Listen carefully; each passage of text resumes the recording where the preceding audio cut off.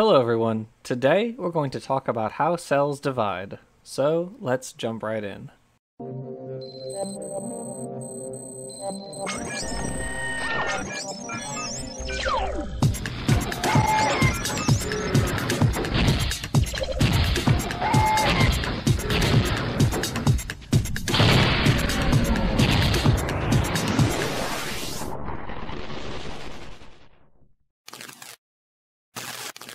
One universal characteristic of living organisms is the ability to reproduce. For reproduction to occur, the cell or cells of organisms must undergo cell division. In multicellular organisms, cells must also divide for developmental growth and to replace deceased cells with new ones. Prokaryotes undergo a type of cell division during which they roughly double their volume before splitting in two. This is called binary fission. Prokaryotes usually carry most of their genes on a single circular chromosome, part of the cell's nucleoid, and often have several smaller sections of DNA called plasmids. Remember from the previous video that prokaryotic genomes are circular and are copied from a single origin of replication. This is true for chromosomes as well as plasmids. Binary fission starts when the chromosome begins to replicate at this site, producing two separate copies of the origin site. Quickly thereafter, while the chromosome is still replicating, one origin moves towards the opposite end of the cell. Once replication is complete, the plasma membrane pinches inward uh, towards the middle, dividing the cell in two. This results in proper segregation of the chromosome, ensuring that each daughter cell inherits one genome. For high copy plasmids, large numbers ensure that each daughter cell receives a few copies by chance alone, without any need for an active partition system. However, for chromosomes and low copy plasmids, segregation requires the action of proteins, which actively move the chromosomes, pushing and pulling them towards their intended places. This partition machinery consists of three parts. 1. Motor proteins that generate the force for the movement of the chromosome. 2.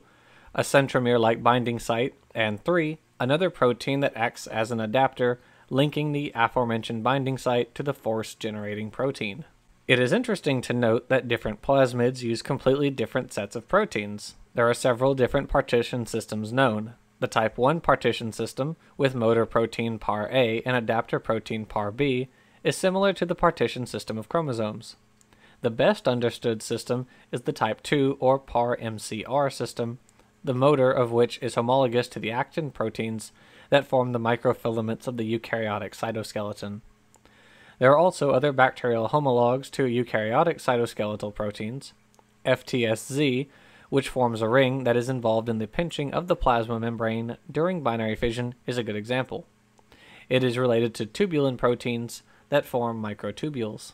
Microtubules are essential for cell division in eukaryotes, for which there are two types mitosis and meiosis. The reason for why there are two is eukaryotes can do something that doesn't happen in prokaryotes they habitually change the number of genome copies of their cells. You know, sex and stuff. The number of genome copies an organism has is called ploidy. For example, most of our cells have two copies of the genome, hence they are diploid. Although there are some uh, organisms that can have more than two copies, which are called polyploid. The cells of some organisms can contain hundreds of copies. Prokaryotes can also be polyploid. There are some gigantic bacteria with extreme polyploidy containing tens of thousands of genome copies. When one diploid or polyploid eukaryotic cell undergoes meiosis, the resulting cells will have half of the original set of genome copies, which is called haploidy. We often say that haploid cells are also called gamete cells, but this is only true for eukaryotes with a diploid dominant life cycle. In animals like us, the only haploid cells are gametes but other organisms produce more haploid cells after meiosis via mitosis, which maintains the haploid number of gene copies in the daughter cells. In fact, fungi are haploid throughout most of their life cycle, and plants have something called alternation of generations, with distinct haploid, gametophyte, and diploid, sporophyte stages, as mentioned in our video Palynology, each having at least a few cycles of mitotic cell divisions. The number of mitotic divisions in each stage aren't always equal in different groups. In non-vascular plants, the gametophyte grows separately, but it is diminished and highly dependent on the sporophyte. In flowering plants, the gametophyte stage consists of just a few cells. It should also be mentioned that the mitochondria and plastids of eukaryotes also divide like they are their own cells. However, while eukaryotes divide via mitosis or meiosis, these organelles divide like bacteria via binary fission. In hindsight, this isn't surprising since it is now widely accepted that these organelles originated from bacteria via endosymbiosis. We mentioned in the video DNA replication that the majority of a cell's life is spent in interphase, which accounts for about 90% of the cell cycle. During interphase, the cell prepares itself for mitosis, which is called the M phase in the cell cycle, and accounts for the remaining 10%. Interphase is divided in three stages. The first is gap 1 or G1, during which the rate of protein synthesis is increased and the cell grows to about double its original size. In the following S phase, which stands for DNA synthesis, the DNA of the genome is replicated. Then, in the gap 2 or G2 phase, the cell resumes its growth, preparing for the M phase. The timing and the rate of the entire cell cycle is strictly regulated by a control system, which is especially necessary in multicellular organisms with specialized cells that must divide at different rates and in response under different circumstances. In the 1970s, a variety of experiments were conducted that showed there were specific signaling molecules in the cytoplasm that regulated the cell cycle. For example, they fused cells that were at different stages of the cell cycle. When a cell in the S phase was fused with one in G1, the nucleus of the G1 cell went straight into the S phase. When a cell in the M phase was fused with one in the G1 phase, the G1 nucleus began the process of mitosis even though the genome hadn't been replicated yet. The signals present in the former cell that underwent mitosis also induced mitosis in the second cell. Overall, the control system is typified by different checkpoints, where inhibitor and inducer signals can act to inhibit or induce the cell with regard to the cell cycle. There are three checkpoints known. First is the G1 checkpoint, or the restriction point, which is very important in us. Without any inducer signal, the cell will exit the cell cycle and enter an inactive state known as gap 0 or the G0 phase. Most of our cells are actually in this phase, especially mature nerve and muscle cells which never divide. Some G0 cells can be induced to enter the G1 phase again by external signals, such as growth factors that are released after injury. The G2 checkpoint, which is regulated by cyclin, acts as the cell cycle clock since its concentration fluctuates rhythmically. When the cyclin concentration is increased, it forms a complex with CDK called MPF, which is the inducer that promotes the cell to go past the G2 checkpoint and go into the M phase. G2 checkpoint is also called the G2 mDNA damage checkpoint since it prevents the cell from undergoing mitosis before it has replicated and repaired any damage in its DNA. The third M checkpoint occurs in the M phase. Understanding these processes is crucial for understanding how cancer develops and are also important targets of cancer therapies. Now let's continue with the M phase. In this process, the cell goes through five stages prophase, prometaphase, metaphase, anaphase, and telophase.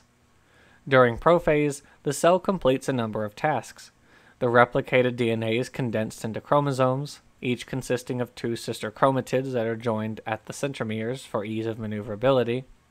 Centrosomes are moved to the poles, and the nucleolus breaks down.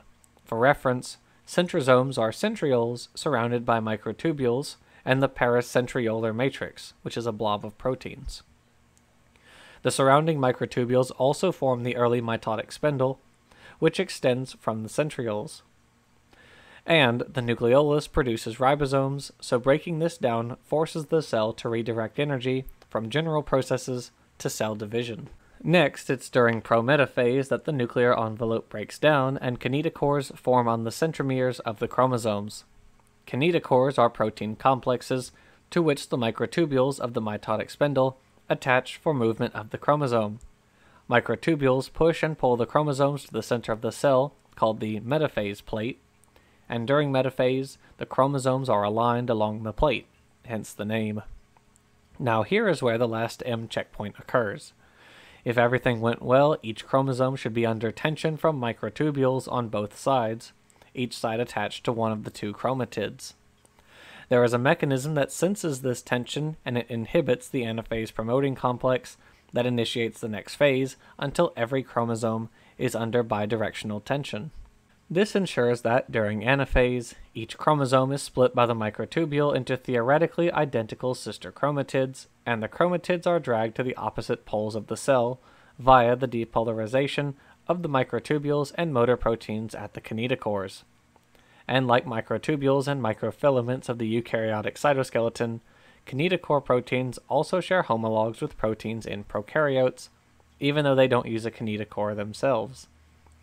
In a paper published in May 2019, Tromer et al. proposed that the kinetochore evolved from proteins involved in various pre-eukaryotic and eukaryotic systems, as well as novel folds, and that a subset of these duplicated, giving rise to the kinetochore complex. Finally, during telophase and cytokinesis, the chromatids have been moved to the poles. The cell splits into daughter cells, the nucleus reforms in both cells, going back into the G1 phase. This description of mitosis is what happens in most eukaryotes, including plants and animals. However, in some, such as dinoflagellates, yeasts, and diatoms, the nuclear envelope remains intact during mitosis. Furthermore, in some dinoflagellates, the kinetochores don't attach to microtubules. Instead, the chromosomes attach to the nuclear envelope. The important point is that both the parent and daughter cells have the same sets of genes. This is not true of meiosis. Meiosis instead occurs in two phases, meiosis 1 and 2. Meiosis 2 is just mitosis for the haploid cells. Meiosis 1 is where the interesting stuff happens. Just like mitosis, meiosis is split into prophase, prometaphase, metaphase, anaphase, and telophase. However, in prophase 1 of meiosis, sister chromosomes exchange homologous DNA sequences in a process called recombination.